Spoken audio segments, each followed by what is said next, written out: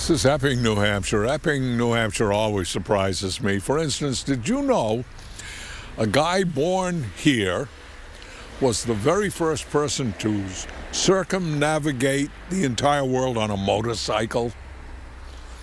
Happened in 1912.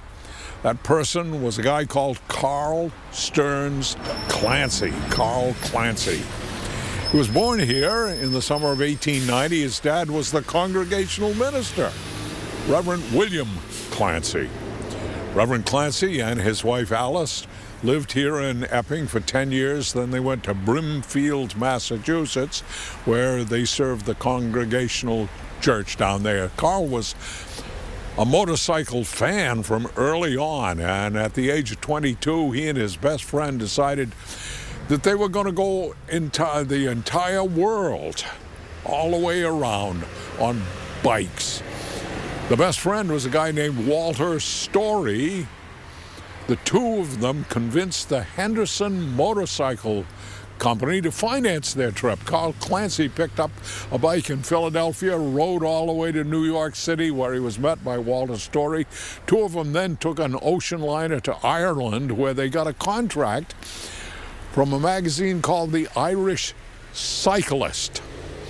That magazine paid him to traverse Northern Ireland and to write about it. They also were contracted by Motorcycle Review out of New York City itself to write about their adventure. However, on the very first day, Walter ran his bike into a tram and totaled it. And it was because he wasn't used to driving on the left hand side of the road. So Carl was alone from there on. Went across Europe, Africa, Asia, then a sea voyage to San Francisco, from there up to Oregon, and then across the country back to New York City, 18,000 land miles. In all, it took him 10 months. That was on a four cylinder V twin 934cc engine, which produced seven horsepower and had only one forward gear. So there you have it.